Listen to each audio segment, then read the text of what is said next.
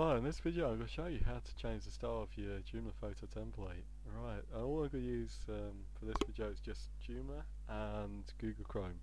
You're going to have to download um, Google Chrome if you want to do, um, do it the same way I'm doing this video, but you can use Firefox with Firebug exactly the same way.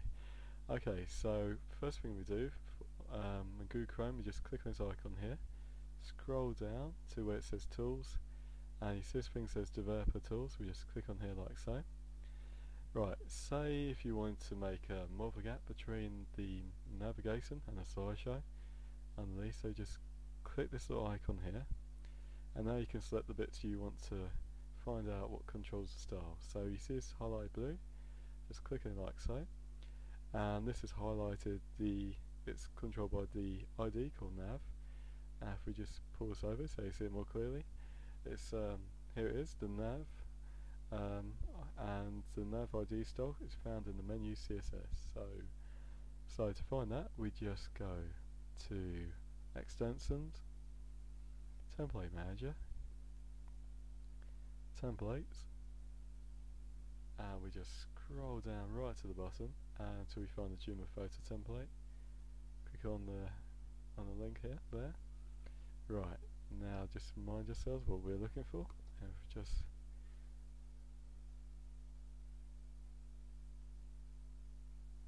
go there yep there you go. Nav menu CSS okay so there you go.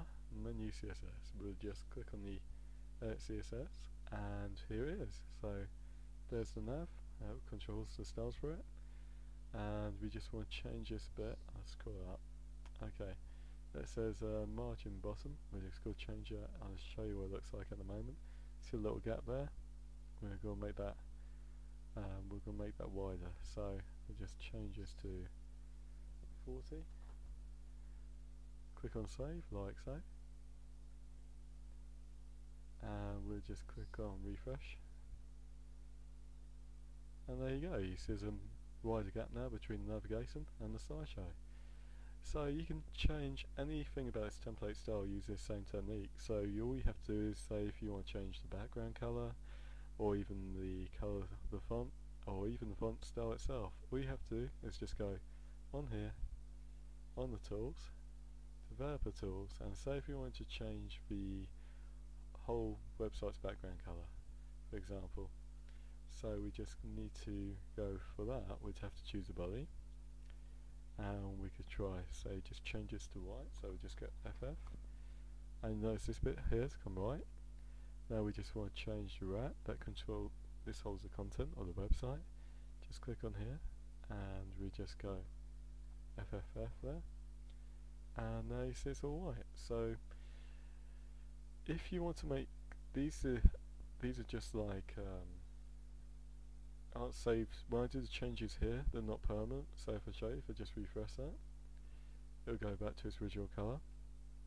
If you want to make the changes permanent, you have to go into the template CSS. So we see the styles controlled by the wrap, and that style is in the style of black CSS. So we just save and close like so, and we click on. Well, here it is dull black CSS, click on click on it and hit there you go. So we just change it to FF or more and just scroll down right to the bottom. And here we are, the wrap style. FFF uh, save. And now we just refresh it And there you go, now the whole background of the website's right. So now if we want to say, oh, um, I want to change the colour of, of the um, of this font, you do exactly the same thing. Tools, developer tools, and uh, show you how this one's done, you just go to the body, and that would be controlled by the colour. And we just change it to whatnot, and we see the colour's changed and if you want to change it permanently you just go to styles black CSS which should be there.